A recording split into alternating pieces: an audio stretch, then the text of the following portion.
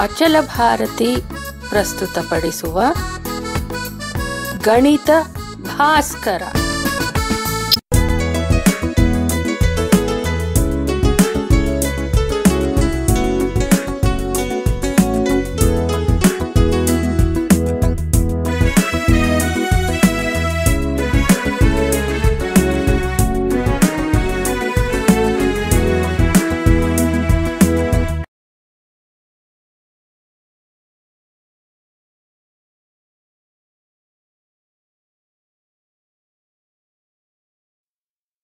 ಒಂಬತ್ತು ಪಾಯಿಂಟ್ ಎಂಟು.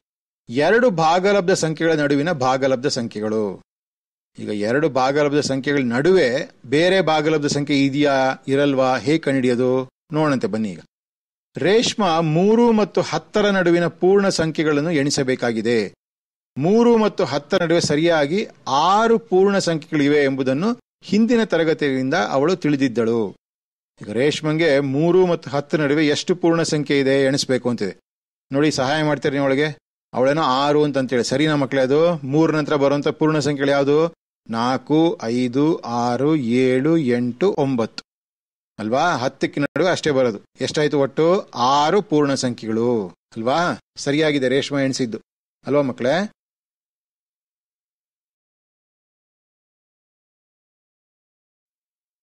ಇದೇ ರೀತಿ ಮೈನಸ್ ಮೂರು ಮತ್ತು ಮೂರರ ನಡುವಿನ ಒಟ್ಟು ಪೂರ್ಣಾಂಕಗಳನ್ನು ತಿಳಿಯ ಬಯಸಿದಳು ಅದೇ ರೀತಿ ಮೈನಸ್ ಮೂರು ಮತ್ತು ಮೂರು.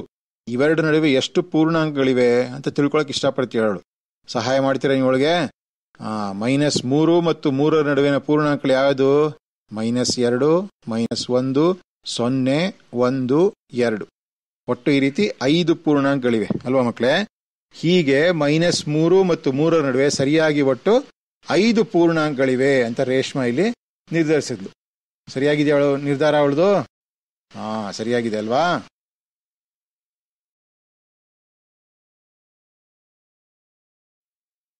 ಮೈನಸ್ ಮೂರು ಮತ್ತು ಮೈನಸ್ ಎರಡರ ನಡುವೆ ಯಾವುದಾದರೂ ಪೂರ್ಣಾಂಕಗಳಿವೆಯೇ ಹೇಳಿ ಮಕ್ಕಳೇ ನೋಡಂತೆ ಮೈನಸ್ ಮೂರು ಮತ್ತು ಮೈನಸ್ ಎರಡು. ಇವುಗಳ ನಡುವೆ ಯಾವ್ದಾದ್ರು ಪೂರ್ಣಾಂಕ ಸಿಗುತ್ತಾ ನಿಮ್ಗೆ? ಋಣ ಪೂರ್ಣಾಂಕ ಆಗಿರ್ಬೋದು. ಯಾವ್ದಾದ್ರು ಇದೆಯಾ ಇಲ್ಲಿ? ಇಲ್ಲ. ಮೈನಸ್ ಮೂರು ಮತ್ತು ಮೈನಸ್ ಎರಡರ ನಡುವೆ ಯಾವ ಪೂರ್ಣಾಂಕವೂ ಇಲ್ಲ. ಅಲ್ವಾ ಮಕ್ಕಳೇ? ಯಾಕೆ ಅಂತಂದ್ರೆ ಎರಡು ಕ್ರಮಾನುಗತ ಪೂರ್ಣಾಂಕಗಳ ನಡುವೆ ಇರುವ ಪೂರ್ಣಾಂಕಗಳ ಸಂಖ್ಯೆ ಸೊನ್ನೆ. ಈಗ ಮೈನಸ್ ಎರಡು ನಂತರ ಮೈನಸ್ ಮೂರೇ ಬರುತ್ತಲ್ವಾ? ಅವುಗಳ ನಡುವೆ ಇನ್ಯಾವ ಪೂರ್ಣಾಂಕನೂ ಇರೋದಿಲ್ಲ. ಹಾಗಾಗಿ ಕ್ರಮಾನುಗತ ಪೂರ್ಣಾಂಕಗಳು ಅಂತ ಅಂತೀವಲ್ಲ ಅವುಗಳ ನಡುವೆ ಇನ್ಯಾವ ಪೂರ್ಣಾಂಕನೂ ಬರಕ್ಕೆ ಸಾಧ್ಯ ಇಲ್ಲ. ಅಲ್ವಾ? ಅವುಗಳ ನಡುವೆ ಇರುವಂತ ಪೂರ್ಣಾಂಕಗಳ ಸಂಖ್ಯೆ ಸೊನ್ನೆ ಅಂತ ಹೇಳ್ತಾ ಇದೀವಿ ನಾವಿಲ್ಲಿ.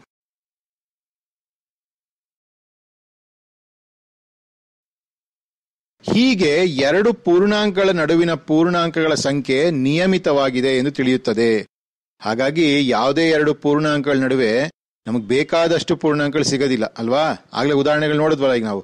ಮೂರು ಮತ್ತು ಹತ್ತರ ನಡುವೆ ಅಥವಾ ಮೈನಸ್ ಮೂರು ಮತ್ತು ಮೂರು ನಡುವೆ ಈ ತರ ಅವುಗಳ ನಡುವೆ ಇರುವ ಪೂರ್ಣಾಂಕಗಳ ಸಂಖ್ಯೆ ನಿಯಮಿತವಾಗಿದೆ. ಭಾಗಲಬ್ಧ ಸಂಖ್ಯೆಗಳ ವಿಷಯದಲ್ಲೂ ಇದೇ ರೀತಿ ಕಂಡು ಬರುತ್ತದೆಯೇ ಭಾಗಲಬ್ಧ ಸಂಖ್ಯೆಗಳಲ್ಲೂ ಇದೇ ರೀತಿ ಕಂಡು ಬರುತ್ತಾ ನೋಡೋಣಂತೆ ಬನ್ನಿ, ಪರೀಕ್ಷೆ ಮಾಡೋಣಂತೆ.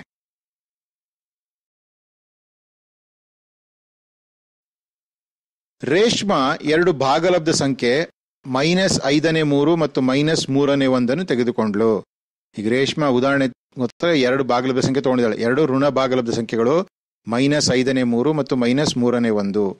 ಅವಳು ಅವುಗಳನ್ನು ಒಂದೇ ಛೇದವುಳ್ಳ ಭಾಗಲಬ್ಧ ಸಂಖ್ಯೆಗಳಾಗಿ ಪರಿವರ್ತಿಸಿದಳು. ಈಗ ಐದು ಮತ್ತು ಮೂರು ಬೇರೆ ಬೇರೆ ಛೇದ ಇದೆ ಅಲ್ವಾ? ಒಂದೇ ಛೇದ ಮಾಡೋಕೆ ಏನ್ ಮಾಡ್ತೀವಿ? ಆ, ಮೊದಲನೇ ಭಾಗಲಬ್ಧ ಸಂಖ್ಯೆನ ಎರಡನೇ ಛೇದದಿಂದ ಗುಣಿಸ್ತೀವಿ. ಮತ್ತು ಎರಡನೇ ಭಾಗಲಬ್ಧ ಸಂಖ್ಯೆನ ಮೊದಲನೇ ಸಂಖ್ಯೆ ಛೇದಿಂದ ಗುಣಿಸ್ಬೇಕು, ಅಲ್ವಾ? ಆ ಥರ ಮಾಡಿದಾಗ ಏನ್ ಸಿಗುತ್ತೆ ನಮ್ಗೆ ನೋಡಿ? ಐದನೇ ಮೈನಸ್ ಮೂರು ಏನಾಗುತ್ತೆ? ಹದಿನೈದನೇ ಮೈನಸ್ ಒಂಬತ್ತಾಗುತ್ತೆ ಮೂರನೇ ಮೈನಸ್ ಒಂದು ಅನ್ನೋದು ಹದಿನೈದನೇ ಮೈನಸ್ ಐದು. ಎರಡು ಈಗ ಸಮಾನ ಛೇದವನ್ನು ಹೊಂದಿದೆ, ಅಲ್ವಾ ಮಕ್ಕಳೇ?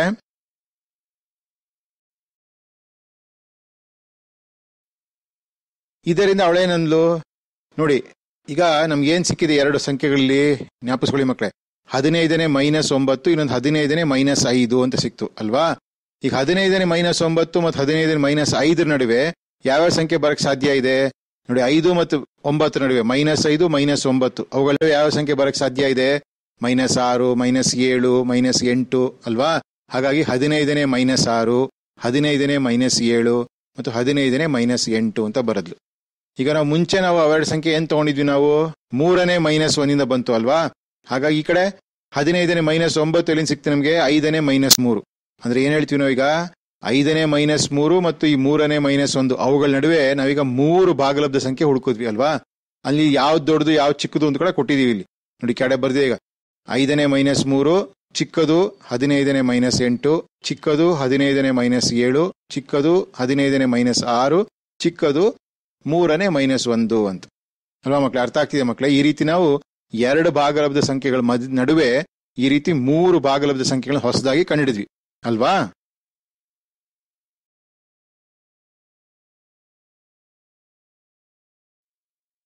ಅವಳು ಈ ತರ ಈ ಹದಿನೈದನೇ ಮೈನಸ್ ಎಂಟು ಚಿಕ್ಕದು, ಹದಿನೈದನೇ ಮೈನಸ್ ಏಳು ಚಿಕ್ಕದು, ಹದಿನೈದನೇ ಮೈನಸ್ ಆರು.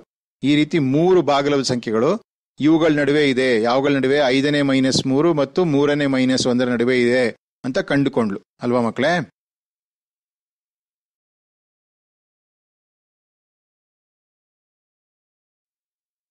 ಈಗ ಈ ಎರಡು ಸಂಖ್ಯೆಗಳ ನಡುವೆ ಕೇವಲ ಈ ಮೂರು ಬಾಗಿಲದ ಸಂಖ್ಯೆಗಳು ಮಾತ್ರ ಇವೆಯಾ?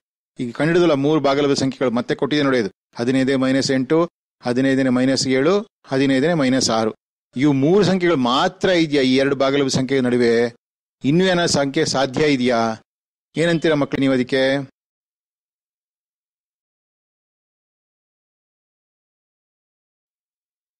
ಈಗ ನೋಡಿ ನಮಗೆ ತಿಳಿದಿರುವಂತೆ ಅದರಲ್ಲಿ ಯಾವುದೋ ಒಂದು ಉದಾಹರಣೆ ತಗೊಳಂತೆ ಹದಿನೈದನೇ ಮೈನಸ್ ಎಂಟು ಅಂತ ತಗೊಳಂತೆ ಇಲ್ಲಿ ನಮ್ಗೆ ಮುಂಚೆ ಕೊಟ್ಟಿದ್ದು ಐದನೇ ಮೈನಸ್ ಮೂರು. ಈ ತರ ಎರಡು ಉದಾಹರಣೆ ತಗೊಂಡ್ರೆ ಮತ್ತೆ ಎರಡನ್ನ ಸಮಚ್ಛೇದ ಮಾಡಬೇಕು ಅಂದ್ರೆ ನೋಡಿ ಐದು ಮತ್ತು ಹದಿನೈದು ಅಲ್ಲಿ ಮೂವತ್ತು ಅಂತ ಆಗುತ್ತಲ್ವಾ ಲಾಸ? ಹಾಗಾಗಿ ನೋಡಿ ಮೂವತ್ತನೇ ಮೈನಸ್ ಹದಿನೆಂಟು ಅಂತ ಆಗುತ್ತೆ. ಮೊದಲನೇದು, ಎರಡನೇದು ಮೂವತ್ತನೇ ಮೈನಸ್ ಹದಿನಾರು ಅಂತ ಆಗುತ್ತೆ. ಈಗ ಇಲ್ಲಿ ನೋಡಿ ಮತ್ತೆ ಅಂಶಗಳನ್ನ ಗಮನಿಸಿ ಮಕ್ಕಳೇ. ಒಂದು ಮೈನಸ್ ಹದಿನಾರು ಒಂದು ಮೈನಸ್ ಹದಿನೆಂಟು ಅಂತ ಸಿಕ್ಕಿದೆ. ಹಾಗಾಗಿ ಅವಳ ನಡುವೆ ಏನು ಸಿಗ್ಬೇಕು? ಮೈನಸ್ ಹದಿನೇಳು ಅಂತ ಒಂದು ಸಂಖ್ಯೆ ಇರಲೇಬೇಕಲ್ವಾ? ಮೂವತ್ತನೇ ಮೈನಸ್ ಹದಿನೇಳು. ನೋಡಿ ಕೆಳಗೆ ಬರ್ದಿದೀವಿ ಇಲ್ಲಿ. ಗೊತ್ತಾಗ್ತಿದ್ಯಾ ಮಕ್ಕಳು ಈ ತರ? ಮೂವತ್ತನೇ ಮೈನಸ್ ಹದಿನೇಳು ಅಂತ ಬರುತ್ತೆ. ಅಂದ್ರೆ ಮುಂಚೆ ಸಂಖ್ಯೆಗಳು ಏನಿತ್ತು ನಮ್ಮ ಹತ್ರ? ಐದನೇ ಮೈನಸ್ ಮೂರು, ಚಿಕ್ಕದು ಮೂವತ್ತನೇ ಮೈನಸ್ ಹದಿನೇಳು, ಚಿಕ್ಕದು ಹದಿನೈದನೇ ಮೈನಸ್ ಎಂಟಕ್ಕಿಂತ ಅಂತ ನಾವೀಗ ಕಂಡಿಡ್ಕೊಂಡ್ವಿ ಅರ್ಥ ಆಗ್ತಿದ್ಯಾ ಮಕ್ಕಳು ಈ ರೀತಿ ನಾವು ಮತ್ತೆ ಇನ್ನೊಂದು ಬಾಗಲ ಸಂಖ್ಯೆನ ಕಂಡಿಡಿದ್ವಿ ಎರಡು ಸಂಖ್ಯೆಗಳ ನಡುವೆ. ಅಲ್ವಾ?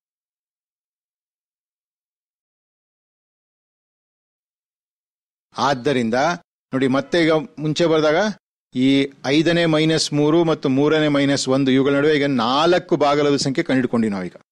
ಅಲ್ವಾ? ಅಂದ್ರೆ ಮತ್ತೊಂದು ಸಂಖ್ಯೆನ ಈಗ ಕಾಣಬಹುದು. ಈ ಎರಡು ಆ ಕಡೆ ಈ ಕಡೆ ಎರಡು ಸಂಖ್ಯೆಗಳ ನಡುವೆ ಈಗ ನಾಲ್ಕು ಭಾಗಲದ ಸಂಖ್ಯೆಗಳನ್ನ ನಾವು ಕಂಡುಹಿಡಿದ್ವಿ. ಮುಂಚೆ ಮೂರಿತ್ತು, ಈಗ ಇನ್ನೊಂದಿಗೆ ಸೇರಿಸಿದ ನಾಲ್ಕು ಭಾಗಲದ ಸಂಖ್ಯೆ ಈಗ ನಾವು ಕಂಡುಹಿಡಿದ್ವಿ. ಅಲ್ವಾ?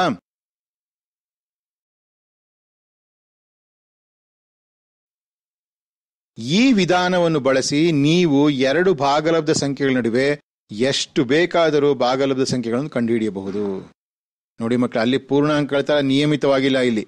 ಇಲ್ಲಿ ಭಾಗಲಬ್ಧ ಸಂಖ್ಯೆಗಳಲ್ಲಿ ಎರಡು ಭಾಗಲಬ್ಧ ಸಂಖ್ಯೆಗಳ ನಡುವೆ ನೀವು ಎಷ್ಟು ಬೇಕಾದ್ರೂ ಭಾಗಲಬ್ಧ ಸಂಖ್ಯೆ ಕಂಡಿತಾ ಹೋಗೋದು ಹಿಂಗೇನೆ. ಎರಡು ಸಂಖ್ಯೆ ತಗೊಳ್ಳಿ, ಛೇದ ಸಮ ಮಾಡಿ, ಅವುಗಳ ನಡುವೆ ಇರುವಂತಹ ಭಾಗಲಬ್ಧ ಸಂಖ್ಯೆಗಳನ್ನ ಮತ್ತೆ ಬರಿತಾ ಹೋಗಿ. ಮತ್ತೆ ಎರಡು ಸಂಖ್ಯೆ ತಗೊಳ್ಳಿ, ಛೇದ ಸಮ ಮಾಡಿ, ಮತ್ತೆ ಅವುಗಳ ನಡುವೆ ಇರುವಂತಹ ಭಾಗಲಬ್ಧ ಸಂಖ್ಯೆಗಳನ್ನ ಬರಿತಾ ಹೋಗಿ. ಅಂದ್ರೆ ಅಂಶಗಳು, ಗೊತ್ತಾಗ್ತಾ ಮಕ್ಕಳೇ? ಈ ರೀತಿ ನೀವು ಎಷ್ಟೋ ಬೇಕಾದ್ರೂ ಭಾಗಲಬ್ಧ ಸಂಖ್ಯೆ ಕಂಡಿಡಬಹುದು ಎರಡು ಸಂಖ್ಯೆಗಳ ನಡುವೆ. ಅರ್ಥ ಆಗ್ತಿದ್ಯಾ ನಿಮ್ಗೆ?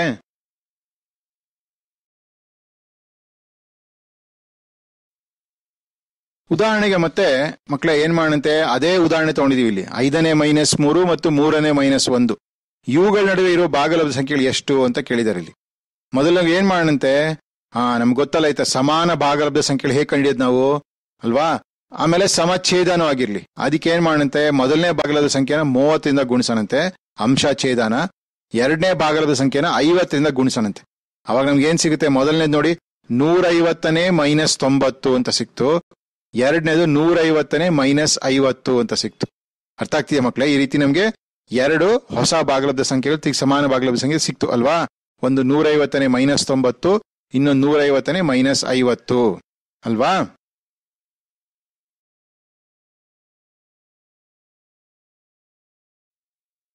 ಈಗ ನೋಡಿ, ಐದನೇ ಮೈನಸ್ ಮೂರು ಮತ್ತು ಮೂರನೇ ಮೈನಸ್ ಒಂದು, ಇವುಗಳ ನಡುವೆ ಎಷ್ಟು ಭಾಗಲಬ್ಧ ಸಂಖ್ಯೆ ಸಾಧ್ಯ ಇದೆ ಅಂತ ಕೇಳ್ತೀರ ಇಲ್ಲಿ?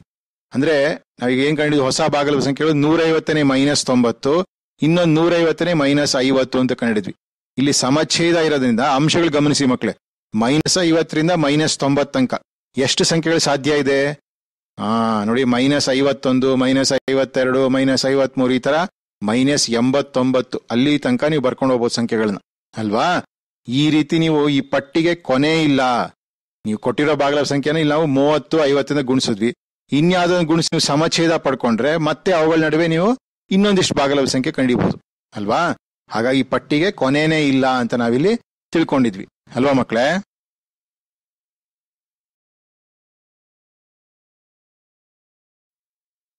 ಮೂರನೇ ಮೈನಸ್ ಐದು ಮತ್ತು ಏಳನೇ ಮೈನಸ್ ಎಂಟು, ಇವುಗಳ ನಡುವೆ ಐದು ಭಾಗಲಬ್ಧ ಸಂಖ್ಯೆಗಳನ್ನು ಪಟ್ಟಿ ಮಾಡಿ ಅಂತ ಕೇಳ್ತೀರಿ ಅಂದ್ರೆ ಇವೆರಡು ಸಂಖ್ಯೆಗಳ ನಡುವೆ ಐದು ಸಂಖ್ಯೆ ಪಟ್ಟಿ ಮಾಡಿ ನೀವು ಅಂತ. ಮೊದಲು ನಾವು ಏನ್ ಮಾಡಂತೆ ನೋಡಿ, ಮೂರನೇ ಮೈನಸ್ ಐದು ಎರಡನೇ ಸಮಛೇದ ಮಾಡ್ಕೊಳಂತೆ ಮೂರನೇ ಮೈನಸ್ ಐದು ಮತ್ತು ಏಳನೇ ಮೈನಸ್ ಎಂಟು. ಮೊದಲನೇ ಭಾಗಲಬ್ಧ ಸಂಖ್ಯೆನ ಏಳರಿಂದ ಗುಣಿಸೋಣಂತೆ. ಎರಡನೇ ಭಾಗಲಬ್ಧ ಸಂಖ್ಯೆನ ಮೂರರಿಂದ ಗುಣಿಸೋಣಂತೆ. ಮೊದಲನೇದು ಏನಾಗುತ್ತೆ? ಐದು, ಏಳು, ಮೂವತ್ತೈದು, ಕೆಳಗಡೆ ಛೇದ ಇವ ಮೂರು ಏಳ್ಲಿ ಇಪ್ಪತ್ತೊಂದು, ಇಪ್ಪತ್ತೊಂದನೇ ಮೈನಸ್ ಮೂವತ್ತೈದು ಅಂತ ಸಿಕ್ತು. ಎರಡನೇದು ನೋಡಿ ಏನಾಗುತ್ತೆ ಅವಾಗದು? ಇಪ್ಪತ್ತೊಂದನೇ ಮೈನಸ್ ಇಪ್ಪತ್ನಾಲ್ಕು ಅಂತ ಸಿಕ್ತು. ಅಲ್ವಾ? ಈಗ ಅಂಶ ಛೇದ ಒಂದೇ ಆಗಿದೆ ಮಕ್ಕಳೇ, ಅಂಶ ಗಮನಿಸಿ ನೀವು ಇಲ್ಲಿಗ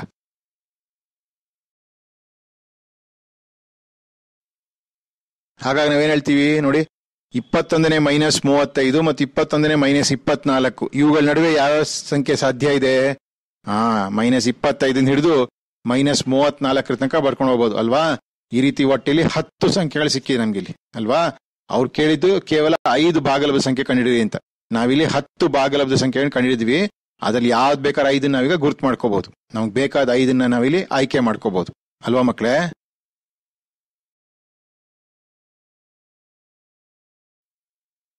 ಹೀಗೆ ಯಾವುದೇ ಎರಡು ಭಾಗಲಬ್ಧ ಸಂಖ್ಯೆಗಳ ನಡುವೆ ಅಪರಿಮಿತ ಭಾಗಲಬ್ಧ ಸಂಖ್ಯೆಗಳನ್ನು ಕಂಡುಹಿಡಿಯಬಹುದು. ಅದಕ್ಕೆ ಯಾವ ಕೊನೆನೇ ಇಲ್ಲ, ಅಪರಿಮಿತ ಅಂತ ಕೊಟ್ಟಿದಾರಲ್ವಾ ಹಂಗೆ ಕೊನೆ ಇಲ್ಲ, ಎಷ್ಟು ಬೇಕಾರಷ್ಟು ಅಷ್ಟು ಅಪರಿಮಿತ ಸಂಖ್ಯೆಗಳು ನಾವು ಕಂಡುಹಿಡಿಬಹುದು ಎರಡು ಭಾಗಲಬ್ಧ ಸಂಖ್ಯೆಗಳ ನಡುವೆ. ಅರ್ಥ ಆಯ್ತಾ ಮಕ್ಕಳೇ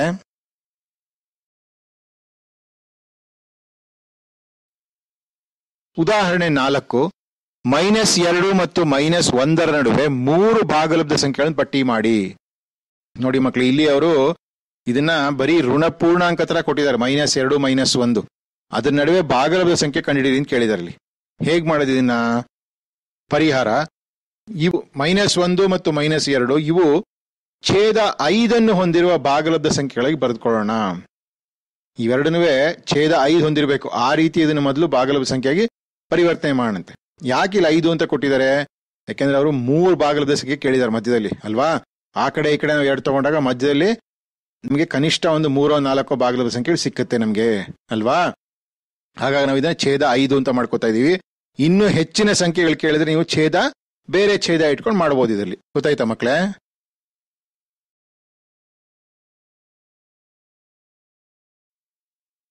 ಈಗ ನಮ್ಗೆ ತಿಳಿದಿರುವಂತೆ ಮೈನಸ್ ಒಂದು ನಾವು ಯಾವ ರೀತಿ ಬರಿಬಹುದು ಐದನೇ ಮೈನಸ್ ಐದು ಅಂತ ಬರಿತಾ ಇದೀವಿ ಮತ್ತು ಮೈನಸ್ ಎರಡನ್ನ ಐದನೇ ಮೈನಸ್ ಹತ್ತು ಅಂತ ಬರಿತಾ ಇದೀವಿ ಅಂದ್ರೆ ಭಾಗಲಬ್ಧ ರೀತಿ ಬರಿತಾ ಇದೀವಿ ಭಾಗಲಬ್ಧ ಸಂಖ್ಯೆ ರೀತಿ ಬರಿತಾ ಇದೀವಿ ಅಲ್ವಾ ಮಕ್ಕಳೇ ಅದು ಕೂಡ ಅದೇ ಆದ ಉತ್ತರ. ಅಲ್ವಾ? ಈಗ ನೋಡಿ ಏನ್ ಸಿಗುತ್ತೆ ನಿಮ್ಗೆ? ಐದನೇ ಮೈನಸ್ ಐದು ಈ ಕಡೆ ಐದನೇ ಮೈನಸ್ ಹತ್ತು. ಅಂದ್ರೆ ಐದು ಮತ್ತು ಹತ್ತು ಮೈನಸ್ ಐದು ಮತ್ತು ಮೈನಸ್ ಹತ್ತು. ಇವುಗಳ ನಡುವೆ ನಿಮ್ಗೆ ಎಷ್ಟು ಸಂಖ್ಯೆ ಸಿಕ್ತಿಲ್ಲಿ ಹಾ ಮೈನಸ್ ಒಂಬತ್ತು ಮೈನಸ್ ಎಂಟು ಮೈನಸ್ ಏಳು ಮೈನಸ್ ಆರು. ನಾಲ್ಕು ಸಂಖ್ಯೆ ಸಿಕ್ತು ಅಲ್ವಾ? ಅಂದ್ರೆ ಐದನೇ ಮೈನಸ್ ಆರು, ಐದನೇ ಮೈನಸ್ ಏಳು, ಐದನೇ ಮೈನಸ್ ಎಂಟು, ಐದನೇ ಮೈನಸ್ ಒಂಬತ್ತು. ಅಂದ್ರೆ ಈಗ ಮೈನಸ್ ಒಂದು ಮತ್ತು ಮೈನಸ್ ಎರಡು. ಇವುಗಳ ನಡುವೆ ನೋಡಿ ಮೈನಸ್ ಎರಡು ಚಿಕ್ಕದು ಐದನೇ ಮೈನಸ್ ಒಂಬತ್ತಕ್ಕಿಂತ, ಚಿಕ್ಕದು ಐದನೇ ಮೈನಸ್ ಎಂಟಕ್ಕಿಂತ, ಚಿಕ್ಕದು ಐದನೇ ಮೈನಸ್ ಏಳಕ್ಕಿಂತ, ಚಿಕ್ಕದು ಐದನೇ ಮೈನಸ್ ಆರಕ್ಕಿಂತ, ಚಿಕ್ಕದು ಮೈನಸ್ ಒಂದು. ಅಂದ್ರೆ ಮೈನಸ್ ಒಂದು ಮತ್ತು ಮೈನಸ್ ಎರಡು ಇವುಗಳ ನಡುವೆ ನಾವೀಗ ನಾಲ್ಕು ಭಾಗಲಬ್ಧ ಸಂಖ್ಯೆನ ಕಂಡಿಡಿದ್ವಿ ಅವ್ರು ಕೇಳಿದ್ ಮೂರು, ಆದ್ರೆ ನಾವಿಲ್ಲಿ ನಾಲ್ಕು ಕಂಡಿದ್ದೀವಿ ಅಲ್ವಾ?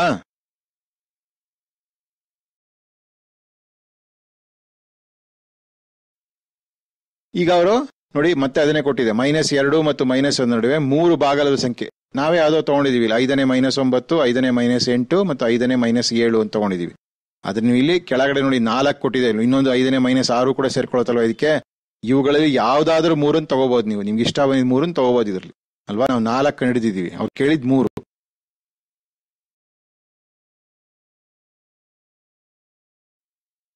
ಇವುಗಳನ್ನು ಪ್ರಯತ್ನಿಸಿ. ಏಳನೇ ಮೈನಸ್ ಐದು ಮತ್ತು ಎಂಟನೇ ಮೈನಸ್ ಮೂರರ ನಡುವೆ ಐದು ಭಾಗಲಬ್ಧ ಸಂಖ್ಯೆಗಳನ್ನು ಕಂಡುಹಿಡಿಯಿರಿ. ಗೊತ್ತಾಗ್ತಿದೆ ಮಕ್ಕಳೇ? ಏಳನೇ ಮೈನಸ್ ಐದು ಮತ್ತು ಎಂಟನೇ ಮೈನಸ್ ಮೂರು. ಇವುಗಳ ನಡುವೆ ಮತ್ತೆ ನಾವು ಐದು ಭಾಗಲಬ್ಧ ಸಂಖ್ಯೆ ಕಂಡಿಬೇಕು ಮೊದಲ ಏನ್ ಮಾಡ್ಕೊಂಡಂತ ಇದನ್ನ ಸಮಚ್ಛೇದ ಮಾಡ್ಕೋಬೇಕಲ್ವಾ? ಅಂದ್ರೆ ಮೊದಲನೇ ಭಾಗಲಬ್ಧ ಸಂಖ್ಯೆನ ಎಂಟರಿಂದ ಗುಣಿಸೋಣಂತೆ, ಎರಡನೇ ಭಾಗಲಬ್ಧ ಸಂಖ್ಯೆನ ಏಳರಿಂದ ಗುಣಿಸೋಣಂತೆ. ನಮ್ಗೆ ಏನ್ ಸಿಗುತ್ತೆ? ಐವತ್ತಾರನೇ ಮೈನಸ್ ನಲ್ವತ್ತು, ಐವತ್ತಾರನೇ ಮೈನಸ್ ಇಪ್ಪತ್ತೊಂದು ಅಂತ ಸಿಕ್ತು. ಈಗ ಛೇದ ಒಂದೇ ಆಗಿರೋದ್ರಿಂದ ನೀವು ಇದ್ರ ಕಡೆ ಗಮನ ಕೊಡಿ ಮಕ್ಕಳೇ ಅಂಶದ ಕಡೆ ಗಮನ ಕೊಡಿ ಈಗ. ಮೈನಸ್ ಇಪ್ಪತ್ತೊಂದ್ರೆ ಮೈನಸ್ ನಲ್ವತ್ತು. ಇವುಗಳ ನೀವು ಎಷ್ಟು ಅಂಶ ಬರೀಬಹುದು ಬೇರೆ ಬೇರೆ ರೀತಿಯ ಅಂಶ ಬರೀಬಹುದು ಯೋಚನೆ ಮಾಡಿ.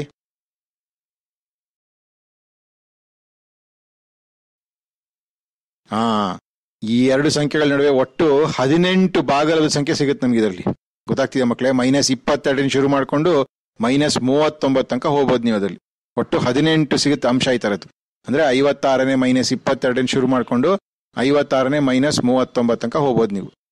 ಇವುಗಳಲ್ಲಿ ನಮಗೆ ಬೇಕಾದ ಐದು ಭಾಗದ ಸಂಸ್ಥೆಗಳನ್ನ ನಾವು ಆಯ್ಕೆ ಮಾಡ್ಕೊಂಡಿದೀವಿ ನಾವಿಲ್ಲಿ ಮೇಲ್ಗಡೆ ಕೊಟ್ಟರು ಐದು ಸಂಖ್ಯೆಗಳನ್ನ ಅವ್ರು ಕೇಳಿದ ಐದಲ್ವಾ ಹಾಗಾಗಿ ನಾವು ಇದರಲ್ಲಿ ಮೈನಸ್ ಮೂವತ್ತೈದು ಮೈನಸ್ ಮೂವತ್ತಾರು ಅಂದ್ರೆ ಐವತ್ತಾರನೇ ಮೈನಸ್ ಮೂವತ್ತೈದು, ಐವತ್ತಾರನೇ ಮೈನಸ್ ಮೂವತ್ತಾರು, ಐವತ್ತಾರನೇ ಮೈನಸ್ ಮೂವತ್ತೇಳು, ಐವತ್ತಾರನೇ ಮೈನಸ್ ಮೂವತ್ತೆಂಟು ಮತ್ತು ಐವತ್ತಾರನೇ ಮೈನಸ್ ಮೂವತ್ತೊಂಬತ್ತು ಈ ರೀತಿ ಐದು ಸಂಖ್ಯೆಗಳನ್ನ ಆಯ್ಕೆ ಮಾಡ್ಕೊಂಡಿದ್ದೀವಿ. ಒಟ್ಟು ಹದಿನೆಂಟಲ್ಲಿ ನೀವು ಯಾವ್ದು ಐದು ಬೇಕಾದ್ರೂ ಆಯ್ಕೆ ಮಾಡ್ಕೋಬಹುದು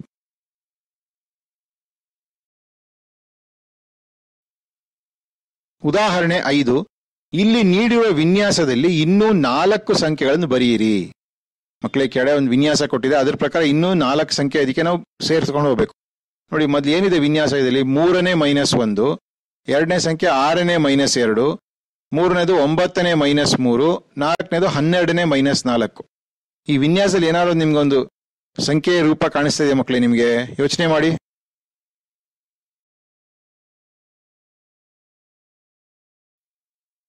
ಪರಿಹಾರ. ನೋಡಿ, ಈ ರೀತಿ ಬರ್ಕೊಂಡು ಹೋಗೋದಲ್ವಾ? ಮೊದಲನೇ ಸಂಖ್ಯೆ ಏನಿತ್ತು? ಮೂರನೇ ಮೈನಸ್ ಒಂದು ಅಂತಿತ್ತಲ್ವಾ? ಮೂರನೇ ಮೈನಸ್ ಒಂದನ್ನ ಅಂಶ ಮತ್ತು ಛೇದ ಒಂದರಿಂದ ಗುಣಿಸಿ, ಏನ್ ಸಿಗುತ್ತೆ ನಿಮ್ಗೆ? ಮೂರನೇ ಮೈನಸ್ ಒಂದೇ ಸಿಕ್ತು. ಈಗ ಮತ್ತೆ ಮೂರನೇ ಮೈನಸ್ ಒಂದು ಅಂಶ ಮತ್ತು ಛೇದ ಎರಡರಿಂದ ಗುಣಿಸಿ, ಏನ್ ಸಿಗುತ್ತೆ ನಮ್ಗೆ? ಆ, ಆರನೇ ಮೈನಸ್ ಎರಡು. ಅಂದ್ರೆ ಆರನೇ ಮೈನಸ್ ಎರಡು ನಾವು ಈ ತರ ಬರ್ಕೋಬಹುದಲ್ವಾ ಮೂರನೇ ಮೈನಸ್ ಒಂದು, ಗುಣಾಕಾರ ಎರಡು ಅಂಶ ಛೇದನ ಅವಾಗ ನಮ್ಗೆ ಮತ್ತೆ ಆರನೇ ಮೈನಸ್ ಎರಡು ಸಿಕ್ತು. ಅದೇ ರೀತಿ ಮೂರನೇದು ನೋಡಿ ಈಗ. ಹಾ, ಒಂಬತ್ತನೇ ಮೈನಸ್ ಮೂರು ಅಂತ ಕೊಟ್ಟಿದೆ. ಅಲ್ಲಿ ನೀವು ಅಂಶ ಮಚ್ಛೇದ ಅಂದ್ರೆ ಮೂರನೇ ಮೈನಸ್ ಒಂದು ಅಂತ ತಗೊಂಡು ಅದನ್ನ ಮೂರರಿಂದ ಗುಣಿಸಿದ್ರೆ ಅಂಶ ಛೇದನ ನಿಮಗೆ ಒಂಬತ್ತನೇ ಮೈನಸ್ ಮೂರು ಸಿಗುತ್ತೆ. ಅದೇ ರೀತಿ ಮೂರನೇ ಮೈನಸ್ ಒಂದು ಇಟ್ಕೊಂಡು ಅಂಶ ಛೇದ ನಾಲ್ಕರಿಂದ ಗುಣಿಸಿದ್ರೆ ನಿಮಗೆ ಹನ್ನೆರಡನೇ ಮೈನಸ್ ನಾಲ್ಕು ಸಿಗುತ್ತೆ. ಅಲ್ವಾ? ಇಲ್ಲಿ ಕೊಟ್ಟಿರೋ ಸಂಖ್ಯೆಗಳು ಇದೇ ತರ ಇದೆ. ಅಂದ್ರೆ ಮೂರನೇ ಮೈನಸ್ ಒಂದು ಇಲ್ಲಿ ಎಲ್ಲದರಲ್ಲೂ ಸಮಾನವಾಗಿದೆ. ಆ ಮೂರನೇ ಮೈನಸ್ ಒಂದಕ್ಕೆ ಮೊದಲು ಒಂದರಿಂದ ಗುಣಿಸಿದ್ವಿ, ಎರಡರಿಂದ ಗುಣಿಸಿದ್ವಿ, ಮೂರರಿಂದ ಗುಣಿಸಿದ್ವಿ, ನಾಲ್ಕರಿಂದ ಗುಣಿಸಿದ್ವಿ. ಅವಾಗ ನಮಗೆ ಬೇರೆ ಬೇರೆ ಸಮಾನ ಭಾಗಲಬ್ಧ ಸಂಖ್ಯೆಗಳು ಸಿಕ್ತು ಇಲ್ಲಿ. ಅಲ್ವಾ ಮಕ್ಕಳೇ? ನಿಮ್ ವಿನ್ಯಾಸ ಅರ್ಥ ಆಯ್ತಾ ಇಲ್ಲಿಗ?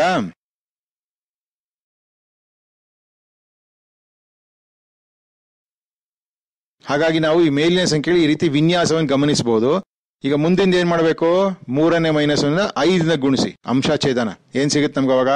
ಹದಿನೈದನೇ ಮೈನಸ್ ಐದು. ಆರರಿಂದ ಗುಣಿಸಿದಾಗ ಹದಿನೆಂಟನೇ ಮೈನಸ್ ಆರು. ಏಳರಿಂದ ಗುಣಿಸಿದಾಗ ನಿಮ್ಗೇನ್ ಸಿಗುತ್ತೆ? ಆ, ಇಪ್ಪತ್ತೊಂದನೇ ಮೈನಸ್ ಏಳು. ಈ ರೀತಿ ನಾವು ಈ ವಿನ್ಯಾಸ ಎಷ್ಟು ಬೇಕಾದಂಗೆ ಮುಂದುವರ್ಸ್ಕೊಂಡು ಹೋಗ್ಬೋದು. ಅಲ್ವಾ? ಮೂರನೇ ಮೈನಸ್ ಒಂದನ್ನ ನಾವು ಈ ತರ ಬೇರೆ ಬೇರೆ ಸಂಖ್ಯೆಗಳಿಂದ ಅಂಶಾಚೇದ ಗುಣಿಸ್ತಾ ಹೋದಂಗೆ ನಮ್ಗೆ ಬೇರೆ ಬೇರೆ ಭಾಗಲಬ್ಧ ಸಂಖ್ಯೆಗಳು ಈ ವಿನ್ಯಾಸದಲ್ಲಿ ಸಿಗ್ತಾ ಹೋಗುತ್ತೆ. ಅರ್ಥ ಆಯ್ತಾ ಮಕ್ಕಳೇ?